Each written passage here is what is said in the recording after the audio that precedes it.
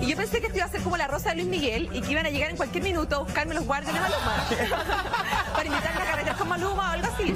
Eh, finalmente nadie me invitó a ninguna parte, pero me quedé con la toalla de Maluma y yo quiero compartir esta alegría.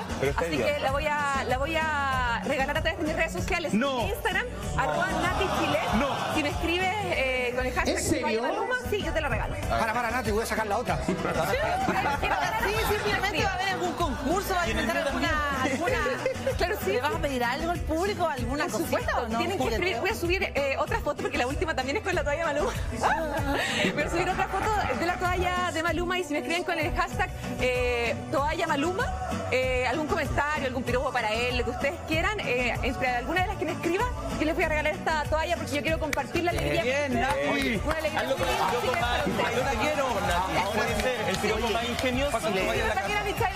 Ya, pero dime algo, tiene olor, tiene olor a colonia, tiene olor a qué, a sal, a... ¿Qué tiene La verdad que huele, Oye, el único problema es que huele a... Huele a foto. ¿eh? Huele a foto.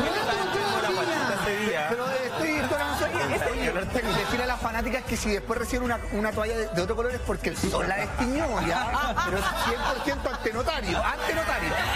Oye, es cierto lo que decía Michael, que estaba con gastroenteritis, me encontré con el manager Ah, de uno de los artistas que estaba ahí y me contó que estaba con gastroenteritis, Maluma, eh, entonces, de hecho, como que quería dejar la toalla, pero después pensé, quizás me enfermo con la toalla, ¿no?